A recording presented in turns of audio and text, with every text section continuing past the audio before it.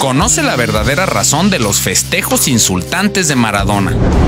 Argentina jugó uno de los partidos más dramáticos de lo que va de la Copa del Mundo hasta el momento, pues se quedó apenas a unos minutos de quedar eliminada por los nigerianos, algo que sin duda hubiera desatado una catástrofe sobre el albiceleste.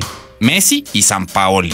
El partido fue tan dramático que no hubo ningún argentino que no sufriera en alta dosis el mal paso de su selección, pues fueron 90 minutos de auténtica angustia para toda la hinchada argentina que siguió el encuentro. Por supuesto que entre esos aficionados también se encuentra el hincha número uno del albiceleste, el legendario Diego Armando Maradona, quien siempre aporta algún dato, digamos, particular para la polémica.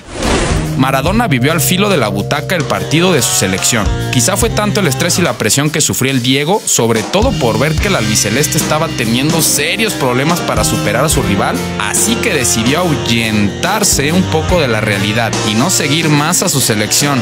Bueno, por lo menos no de manera consciente.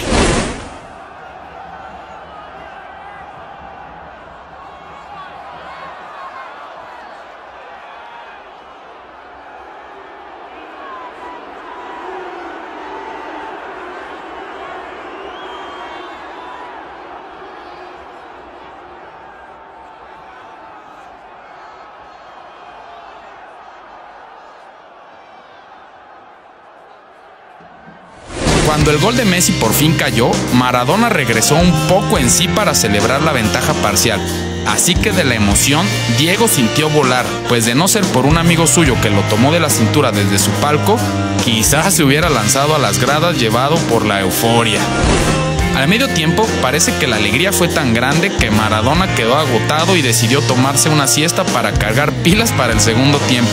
El problema fue que los nigerianos encontraron pronto el empate en el segundo tiempo y el sufrimiento regresó para los argentinos y el Diego. Pero después de la tempestad siempre viene la calma.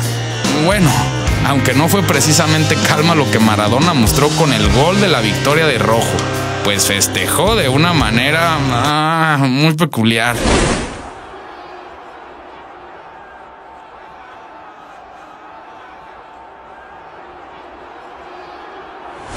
Estas imágenes dieron la vuelta al mundo, confirmando que la personalidad de Maradona sigue teniendo fuertes estigmas con su comportamiento muy cuestionable fuera de las canchas, pues está lejos de ser un ejemplo para los niños y jóvenes que sueñan con algún día ser futbolistas, y mucho menos para la FIFA, quien ha insistido en tener a Maradona como una imagen de la organización y un embajador del deporte más seguido y hermoso del mundo. Y para corroborar que Maradona no tenía cabeza para estar en una cancha de juego, basta con ver cómo terminó el partido, dando penas en un vergonzoso estado.